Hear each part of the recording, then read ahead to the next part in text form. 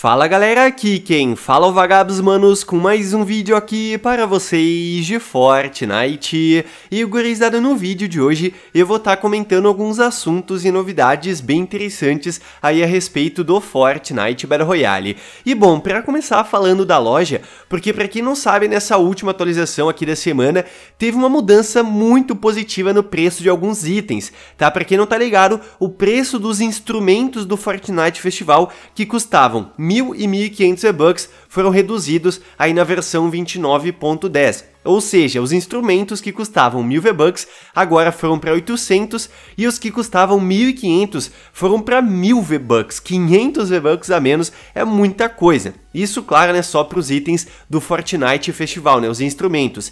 E os jogadores, obviamente, que compraram os itens antes dessa mudança de preço, já vão receber os V-Bucks pela diferença de preço. Então, se você comprou, né, com um preço maior ainda, não fique preocupado, né, se você não recebeu ainda o reembolso, acho que já tinha recebido, você vai estar recebendo, né, por conta dessa mudança de preço, o que eu acho totalmente justo. Cadê os haters aí da Epic Games agora? Né, a gente tem que combinar que a Epic está acertando bastante nessa questão de loja ultimamente eu venho falando isso já há alguns meses, que faz tempo que a Epic não lança uma skin lendária, né, que são as mais caras aí pro 2 mil V-Bucks ou mais, que eles sempre estão colocando reembolso, né, assim, quando tem algum bug mais crítico e tudo mais, o que não acontecia com muita frequência, e agora eles já modificaram o preço aí dos instrumentos, o que para mim realmente tinha que ter sido feito já antes, tá ligado? Tudo bem, não vou reclamar, porque eles realmente mudaram, se fosse Epic Games do passado, talvez eles nem iam mudar, tá ligado? Porque a gente sabe quando chegou o modo festival, o modo do Rocket Race, né, e tudo mais, o modo Lego, iam chegar coisas na loja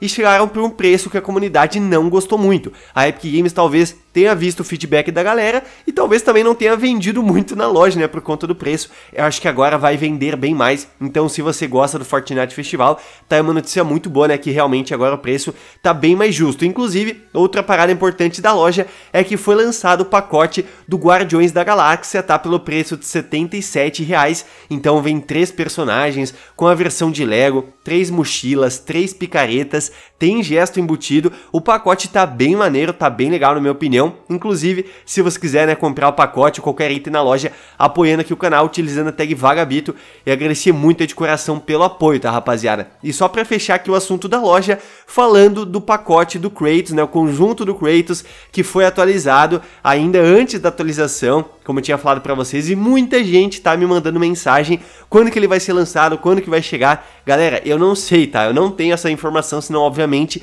eu já teria falado para vocês, mas como foi atualizado, em algum momento aqui na temporada esse pacote vai estar voltando. Talvez a Epic esteja esperando para lançar algum novo personagem de God of War, né, junto com a volta do pacote do Kratos. É uma teoria que eu já comentei aqui, que eu acredito bastante que pode acontecer, né, mas enfim, tenha paciência aí, meu garoto, minha garota, porque vai chegar sim em algum momento na temporada, beleza? E caso você também não saiba, nessa última atualização teve mudanças em alguns itens, né? Alguns foram bufados e outros nerfados. A metralhadora de tambor, ela foi bufada, isso aqui eu já tinha comentado, mas além dela, o rifle caçada lunar também foi bufado, o dano e velocidade dos projéteis aumentados. A gente pode ver que o dano aumentou um de cada raridade e a raridade lendária e, e mítica né, aumentou 2 de dano, o que é uma diferença bem considerável, e além disso a corrente do Hades, o dano aumentado ao puxar alvos foi de 30 para 40, essa aqui sim foi uma mudança bem mais impactante.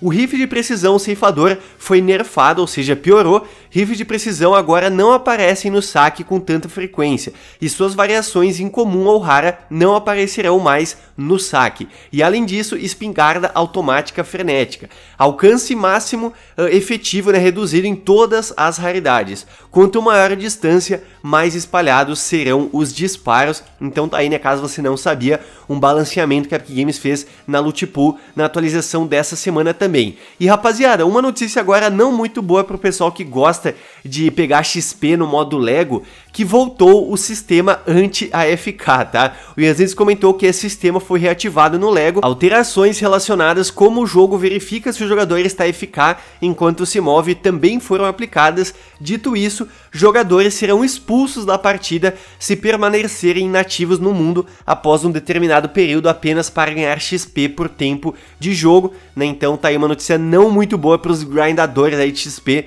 no modo Lego, tá? E olha só, manos, uma coisa muito importante também, isso aqui é uma novidade que pode estar chegando ao longo do ano, que é uma temporada do Rocket Racing. O Yazidis comentou que a temporada 1 do Rocket Racing se chamará Neon Nights, né, que traduzindo aí para o português seria Noite de Neon basicamente, se chegasse exatamente com esse nome. E acredita-se que vai ser lançada já no próximo mês, dia 9 de abril, mas não é confirmado. Pode chegar mais além, mas, né, como já meio que foi vazada essa data, início de ano, eu acredito que até o final do ano sim vai estar chegando a primeira temporada do Rocket Racing o que é uma parada muito importante, porque aí gerou já discussões se vai ter mais um passe de batalha. Já temos o passe de batalha do Battle Royale, temos o passe do Fortnite Festival e agora pode chegar o passe do Rocket Racing. Só que eu não sei se isso vai acontecer, porque, tipo assim, já tem o passe de batalha, vou dizer assim, no Rocket League, né? Que é o Rocket Pass. Que já, inclusive, né, o pessoal do clube já tem direito ao Rocket Pass e tudo mais.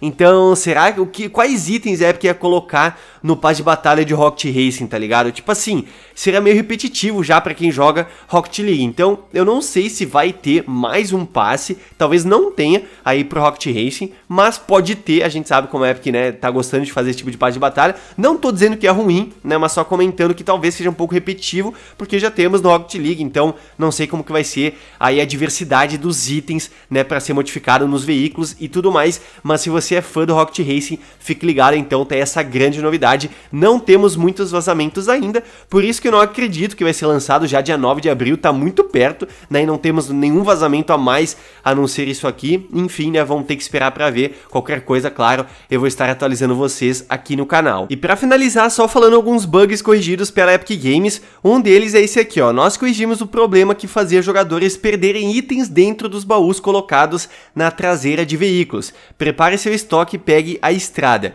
E outro bug corrigido é que agora todos os jogadores que compartilham um mundo do Lego Fortnite desbloqueiam novas receitas de construção ao mesmo tempo, tá? Esses são alguns bugs corrigidos, a Epic Games tá olhando em mais bugs, tá? Tá tentando resolver, porque realmente depois dessa última atualização chegaram muitos bugs bizarros aí no jogo, mas enfim, né, esses dois aí a Epic Games já corrigiu e outros vão ser corrigidos nos próximos dias aí também. Mas então é isso, galera. Espero que vocês tenham gostado aqui do vídeo. Se você gostou, deixa o likezão aí porque não custa nada e me ajuda muito. E claro, né, mande aí pros seus amigos para todo mundo ficar ligado em mais assuntos e novidades bem interessantes do jogo. Saber, né, que em breve pode estar chegando a primeira temporada do Rocket Racing. Quem sabe mais um passe chegando aí no Fortnite, né, vamos ver. E claro, né, também para saber as novidades da loja, aí da mudança nos itens, né, buff, nerf e tudo mais que aconteceu nessa última semana. Então é isso, manos, aquele abraço, se vemos no próximo vídeo. Valeu, falou, se eu fui!